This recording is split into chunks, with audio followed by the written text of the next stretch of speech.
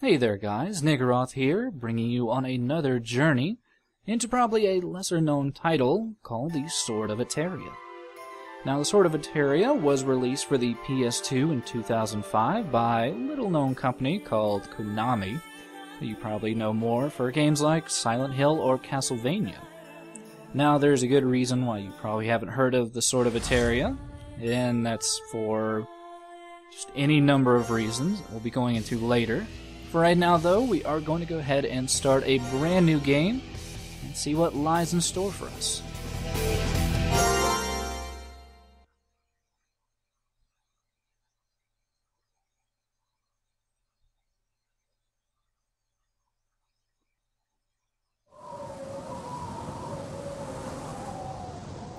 So, right off the bat, the prologue will dump us into what appears to be fairly generic RPG text bubbles. We get to meet a few characters. Very stern looking woman, a very anime topless man. We do find pretty quickly that the lady's name is Almira. And in a little bit, we will find out that the shirtless gentleman here is named Leon. And we're also introduced to a third character pretty promptly named Kain. But what they are discussing currently is that they are on a top secret mission from the gods to dispose of something that lays in wait in this valley ahead. You can kind of see a very tall pillar of light back there in the background. I guess that is our end destination.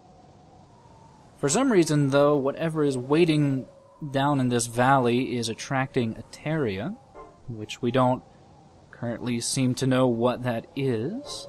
I can only assume that it is of some great importance to send these three mighty anime warriors out into the fray. Apparently, they are part of some elite crack team called Oz, which was the original title of the game in Japan. And that title is going to become a little bit more apparent why it's called that in a little bit. But for right now, seems that the enemy has made itself apparent, and it is time to get down to brass tacks and find out just what type of game this is.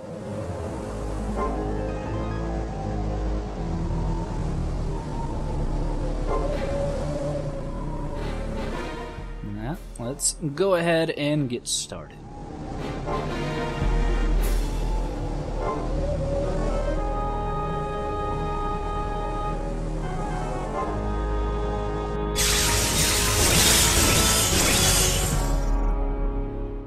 So, pretty quickly, we all turn into our magic robot forms. Not really explaining why we have those, but yes, this is a third person hack and slash type of game. Very much in the vein of Devil May Cry. And you might be wondering just what the hell is going on? What are these things we are fighting? Well, in the prologue here, you don't really have to worry about any of that.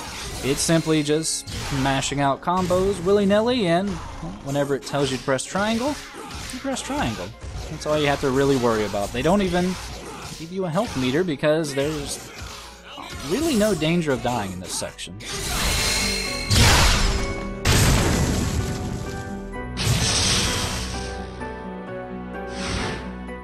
We'll be getting more into real game mechanics in the next video. For right now, this is just really simple introduction.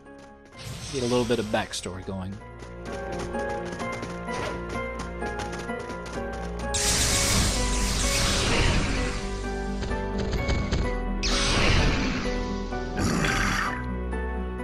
And while it seems that we are introduced to, to some overwhelming numbers here, that triangle attack that we were doing previously well, I guess we can do that in tandem with our two fellow partners here.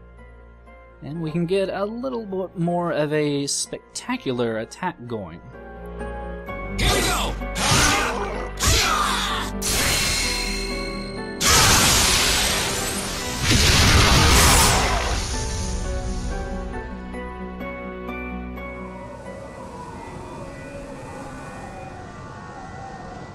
Yeah, we have cleaned up the last of the rabble. We should finally be able to head to whatever that mysterious light is. And all in all, it seems like these members of Oz are truly a force to be reckoned with.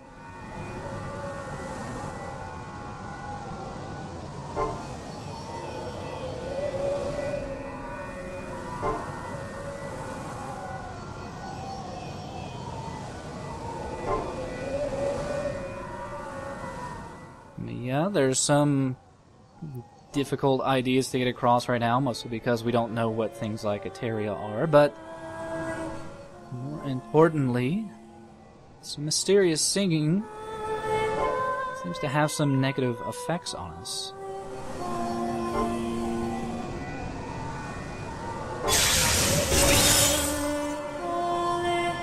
And whatever this singing is, it knocks Almira and Leon out of their ultra powerful armor. For some reason, Kain is unaffected.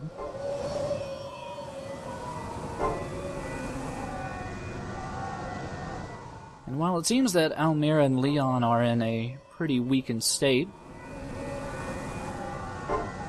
guess that means that the only person that can really continue on safely is their leader, Kain.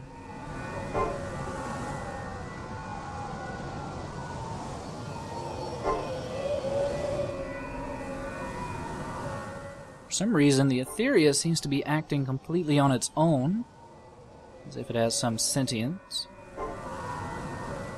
But the real question is why is Kain still alright? But we're not going to be getting the answer to that just now. Instead, Kain is going to head off ahead. Just going to take care of what's laying further down in wait in the valley.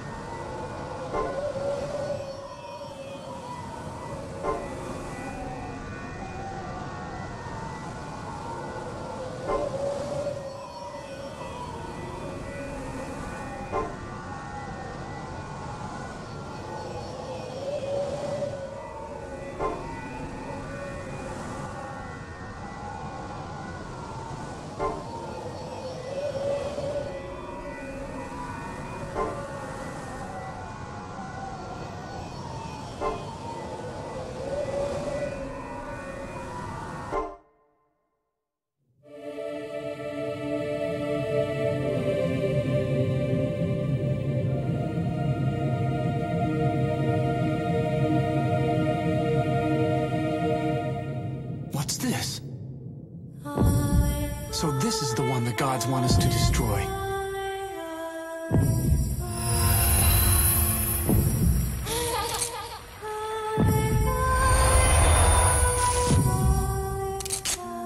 I hereby carry out the will of the gods.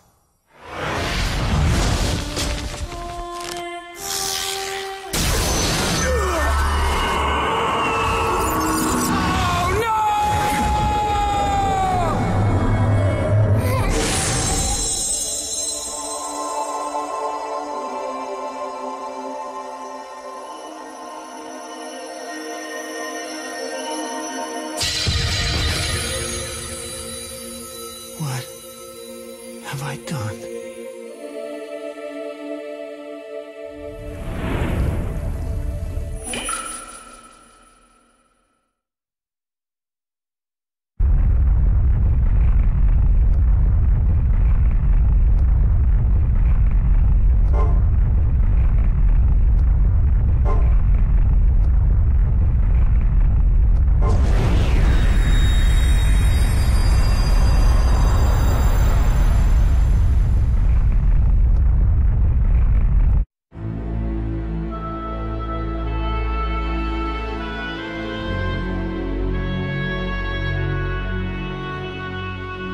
On the day of the gods' great descent, the winged folk were summoned to become holy envoys.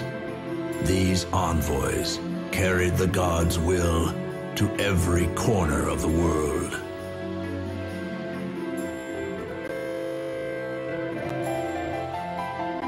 Gods ever desiring more power and greatness, began to gather up the special light found at the source of all things. Thousands upon thousands of nights later, the world, under the divine providence of the gods, lingered in a state of tranquility, oblivious of what was to come.